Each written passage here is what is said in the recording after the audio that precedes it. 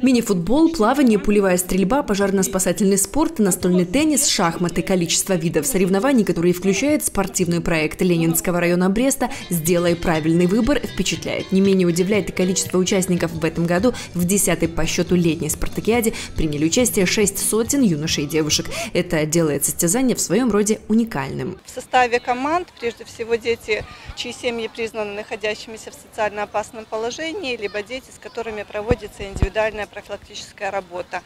Но, конечно же, одними такими детьми не закрыть составы команд. Это очень хорошо, что таких деток не так много в Ленинском районе. Поэтому всего за летний период в соревнованиях э, по различным видам спорта в рамках спартакиады э, приняли участие около 600 человек. Это в составе команд. Но ведь в любых соревнованиях есть зрители. Поэтому можно говорить, что в целом за летний период, наверное, около ну, порядка полутора тысяч детей приняли участие в том или ином качестве в соревнованиях этой спартакиады. На этот раз в рамках завершающего этапа спартакиады молодежь объединили подвижные игры. Они проходили на базе средней школы номер 18. Участники отмечают, это не скучные соревнования для галочки. Это в первую очередь живые эмоции, поставленные достигнутые цели и отличное времяпрепровождение. Я участвую уже примерно пятый год. Мне очень нравится это настроение, какое здесь происходит, эта атмосфера что это всегда лучше для тебя, потому что ты можешь завести новых друзей. Также ты развиваешься сам не только физически, но и как личность. Я занимаюсь теннисом